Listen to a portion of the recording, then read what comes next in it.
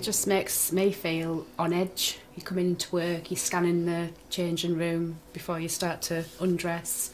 Um, it's just it's just uncomfortable, very uncomfortable. It's disgraceful that nurses are ending up in tears prior to their shift. I mean, we are there to be an emotional support for our patients who are about to undergo surgery. And it's very difficult to do that if you're in a state of distress from having to change in front of a male.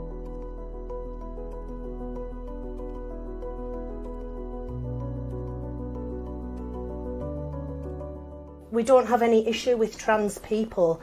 We just want a safe space for us, a female only space for us to get changed. Now I know the trust policy.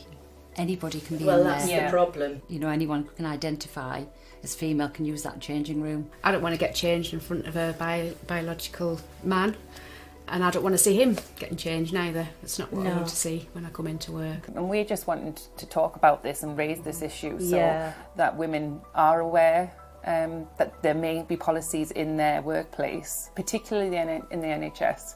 Um, we want other nurses to be aware of what their transgender uh, policy is.